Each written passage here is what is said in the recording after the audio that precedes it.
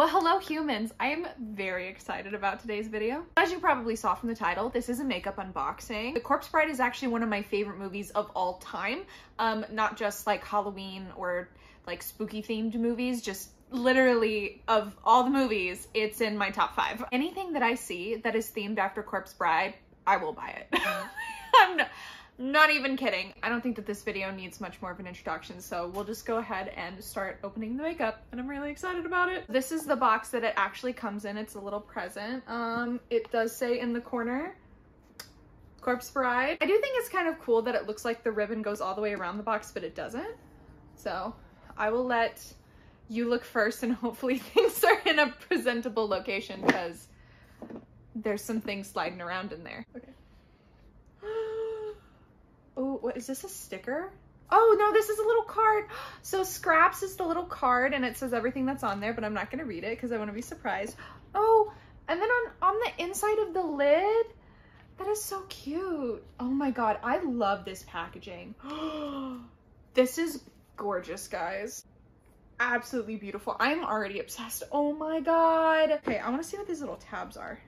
There are things underneath there are things underneath. So if I take this first layer off, um, that's what was rolling around. I'm already excited for the second compartment. I'm just gonna like throw these back in here without looking at it so I don't like spoil it for myself. I'm pretty sure I'm putting everything in upside down. That would probably be like the most likely thing for me to do. The first thing in here, this looks like a lipstick, but the packaging is really pretty. It does, what does it say on it? It's really hard to read because of the shade of blue. Oh, can the living marry the dead? That's what it says. And obviously this is meant to replicate the ring, the engagement ring. Ooh. Whoa, okay, this surprised me. This is like a very clear, like, is this a, like a chapstick or like a top coat of some kind? What is this? A lip balm. Okay, so it is like a chapstick. That's interesting. I kind of notice when I buy like makeup collaborations like this, um, I'm probably not going to use most of the products. So this is something that if it, to be honest, if it was a lipstick, I probably would use it. But the fact that it's a lip balm, it's definitely just going to be a display piece. There's no design on the top, so I don't feel bad like swatching it. Oh, it does come off clear. Okay, I was wondering if it was going to have a blue tint or like a sparkle or anything, but no, it just feels like a standard like regular lip balm. So next we're gonna do the little three, I don't know if these are highlighters or individual eyeshadows. So the first one is little scraps. It's so cute.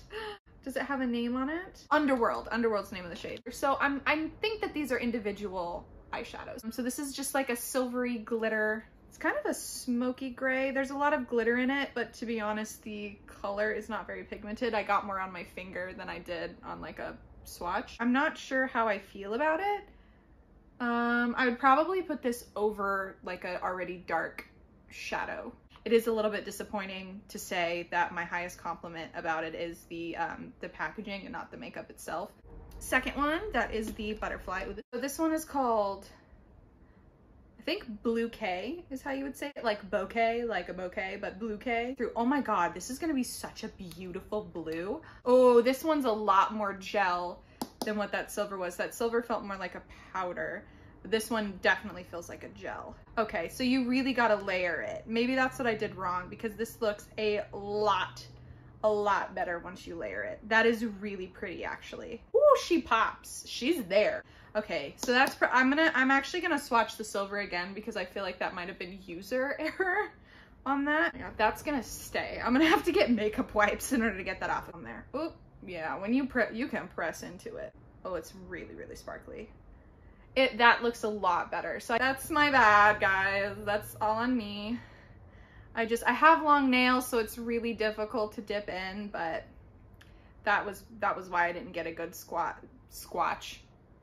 That was why I didn't get a good swatch the first time is because I was worried about it getting under my nails, but last one is Mr. Skeleton here. This one is called Tears to Shed. And through the packaging, I can see it's a really pretty, like, pearlescent white. Oh God, that is so beautiful. Oh, I love this one. I cannot wait to swatch this. This, I will use. I don't know what it is. That silver one might just be like a slightly different, like, formula or something. Because it was just a different process swatching that. Oh my god. I really hope that the camera picks that up. As you can see, this one's definitely a lot more like liquidy because it's not like showing up the white on my finger as much as some of the other ones. But oh, oh she is present. I actually will use this one 100%. Overall, 10 out of 10 for the blue, 10 out of 10 for the white silver. Um, again, the gray, uh, still not the biggest fan of it, especially comparatively to its sisters. Like, when you look at all of these three, the gray just really doesn't stand out. It's kind of just there. Packaging that's my favorite out of the three is scraps. So, so we're gonna go ahead and go into the second shelf here. It looks like we have three lip stains, lipsticks, lip crayons, I'm not sure what, but three lip products in here. So let's go ahead and do those. Is a sort of a reddish, a pink, and then a coral from what I can see through the packaging. Okay, so these do have shade names. So just the lip balm didn't have a shade name, which I guess is fine. This is the red. This one is called Beating Heart. Ooh, it's so clean. I just, sometimes I hate taking these out because like the packaging, like the white around the packaging just looks so clean. And then as soon as you take it out, it's like, it's not as pretty anymore. But we got to because we're gonna swatch them. When I was blonde, reds were definitely my go-to. But now that I'm a redhead, it's kind of tricky. Whoa, oh my God. That is so pretty and so creamy. Oh my God. My hand and I want to see if it's as pigmented. If I, I hate using my fingers though. I do pinky. Oh, she's still there. It's still pretty bright. Obviously, it's not as vibrant as it was when it was like freshly used and we will see how it dries down. Okay, so this is the pink, which looks super pretty. This I can most definitely wear. This one is called Rosy Cheeks. I think I actually have a color pretty similar to this, or it's just like, I have like a darker, darker version of this. This is it before I smooth it out. And then now, I guess we'll do ring finger.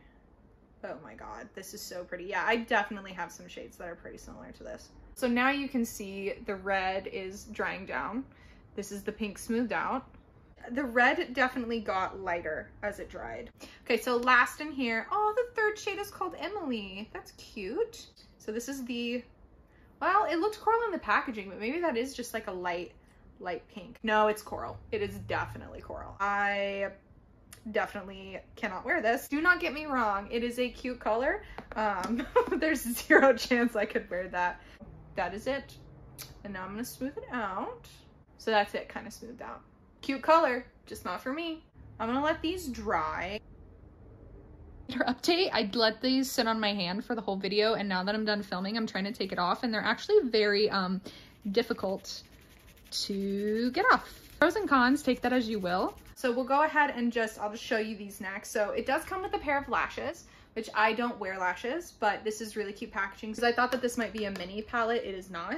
Um, it's a highlight. This is very like Emily heavy themed, like in the shade names and then even on the packaging. The only thing that Victor is on is the main big eyeshadow palette, which he's on there with her. So while this is like Corpse Bride, it's very like heavily Emily. So this says the Beaming Butterfly Highlighter slash highlighter beaming butterfly.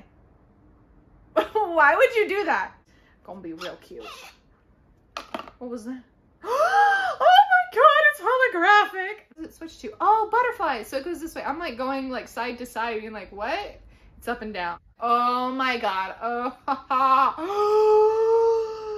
That is beautiful! Okay, I was gonna say, I feel like I can't swatch it, but there's one little space. There's one space for the butterflies aren't, and that's what I'm going for. It has like a blue sparkle undertone to it. I really hope that that's throughout the highlight and just not just like a top coat.